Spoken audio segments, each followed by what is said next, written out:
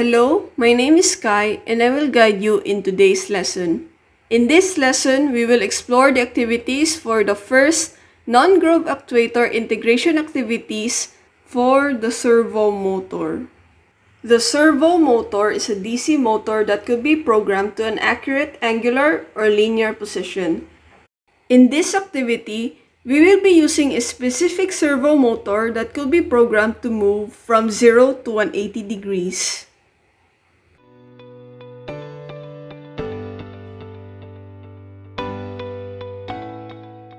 For the first project, we're going to connect the rotary potentiometer to A0. And then connect the brown pin of the servo to ground. Connect the red pin to 5 volts. Connect the orange pin to pin 6. Once it's all connected, attach the shield to your Arduino Uno and connect it to your computer. For this first variation, we're going to have to include the servo library that comes with the Arduino IDE. Just type in number sign include servo.h. Next, type in servo servo and define the potentiometer pin to A0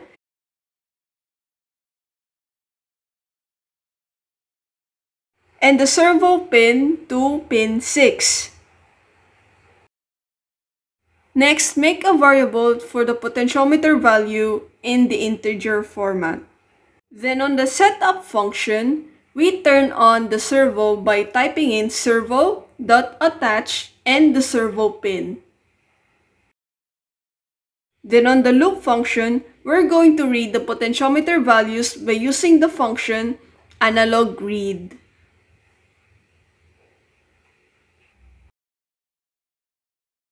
Then in order for the servo to use this analog value, we need to use the map function.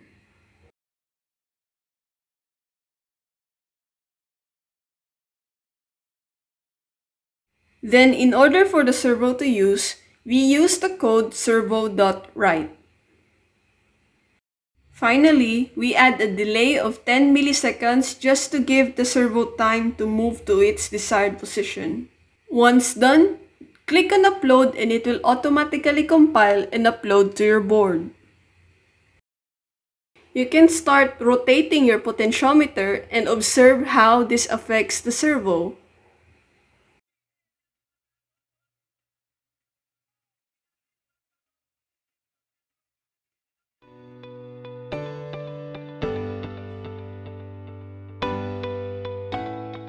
For this next variation, connect the buzzer to D5.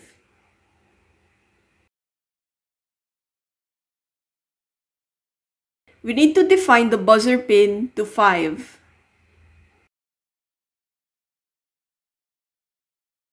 Then on the setup function, we need to set the buzzer as an output.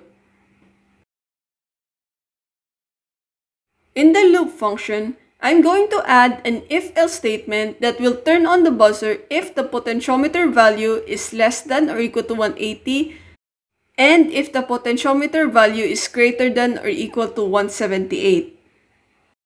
Inside this if statement, we add a tone function to turn on the buzzer.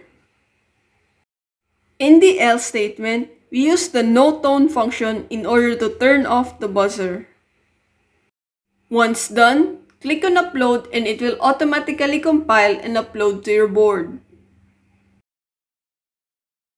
Once you're done uploading the code, you can try rotating the potentiometer and observing what it does to the buzzer when the servo turns 180 degrees.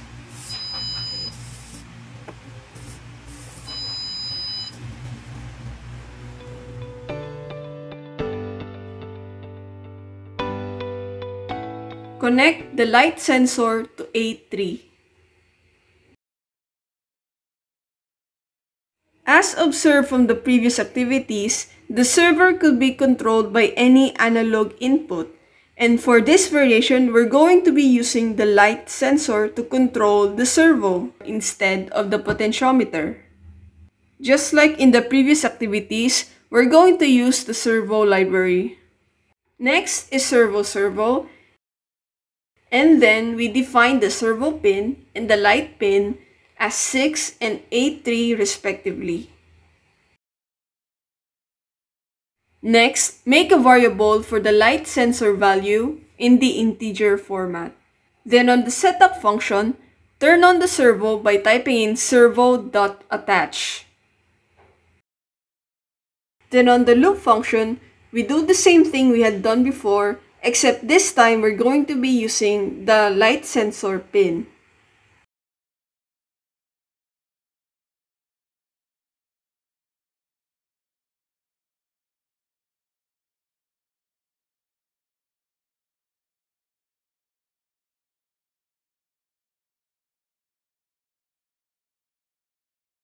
Once done, click on upload and it will automatically compile and upload to your board.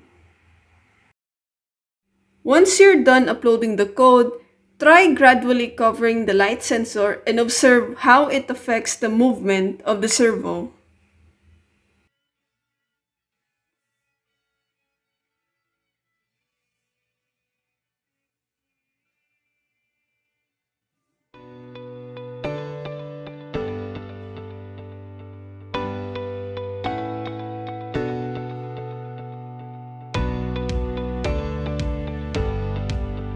Hello, my name is Kai and in this lesson we will make a relay switch using a relay, button, and a sound sensor. First things first, prepare your Arduino sensor kit and connect it to your Arduino Uno. Then prepare your relay and plug the data or input pin to pin 9, your VCC pin to 5 volts, and your ground pin to ground on your Arduino sensor kit. Connect your relay to a light bulb or a wired extension wire. Be careful while you're connecting it and make sure it doesn't short. Connect the button pin to D4 and connect the sound sensor pin to A2.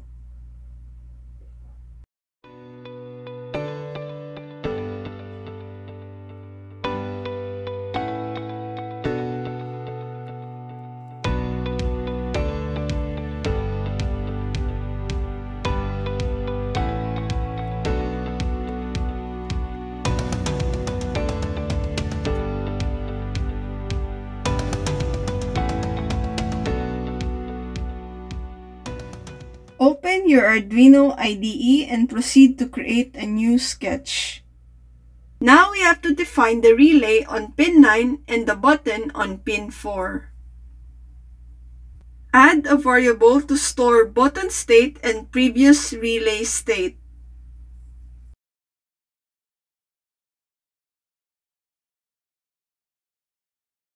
Next, go to the setup function and set the button pin as an input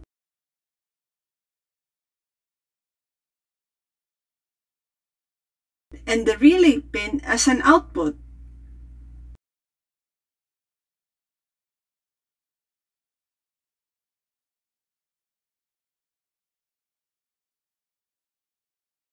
Next, let's create an on button change function. Read the state of the button pin and set it on the button state variable.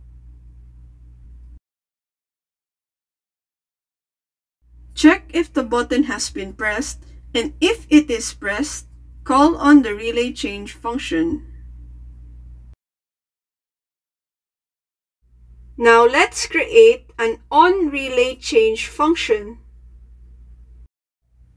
Next, type these codes to check what is the previous state of the relay. If the previous state is low, then make it high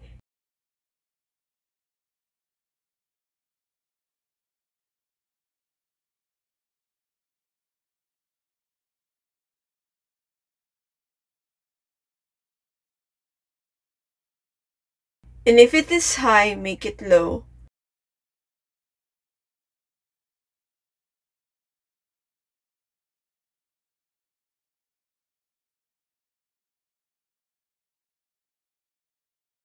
Next, set the relay state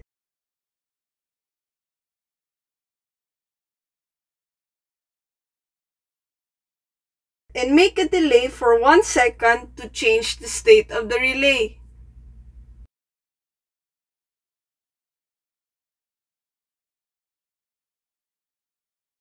Go to the loop function and call the on button change function and set a delay of 50 milliseconds to run it again.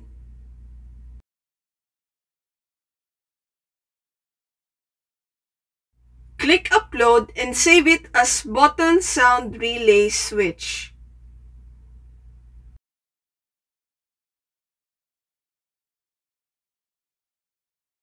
Fix some syntax error and click upload again.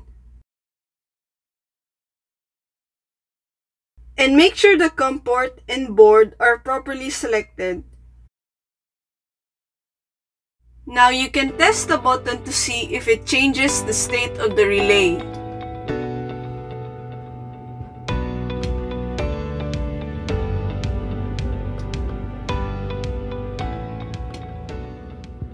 Next, Let's use the sound sensor as a switch.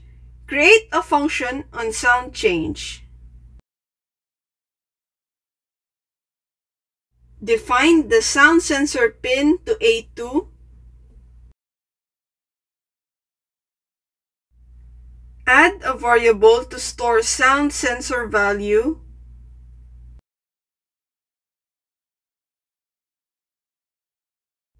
Add a variable sound threshold value. Change this if your sensor is too sensitive.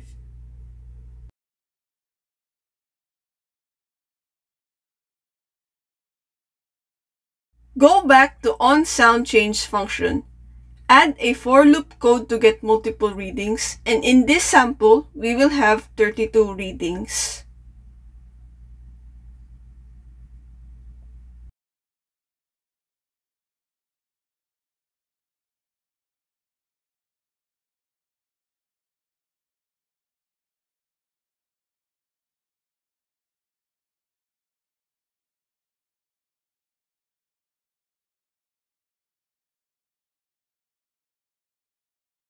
Shift the sum of the 32 readings to 5 bits in order to have an average value.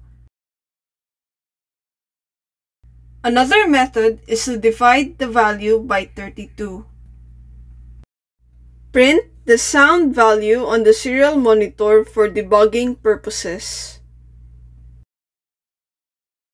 Create an if statement to check if the sound value is more than the sound threshold.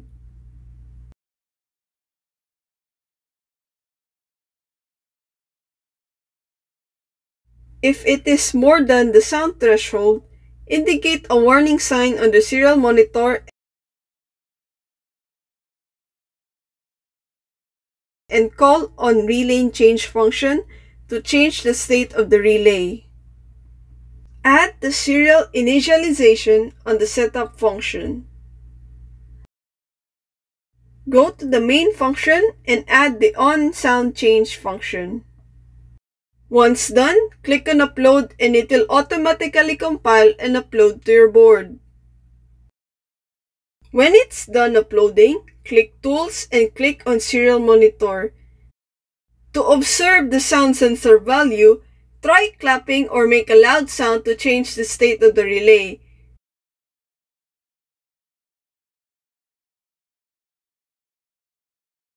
Change the sound threshold if you have issues on your reading.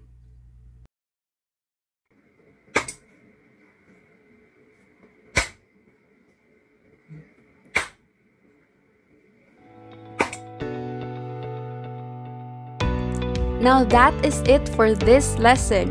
To learn more about the other modules, simply head on to the next video.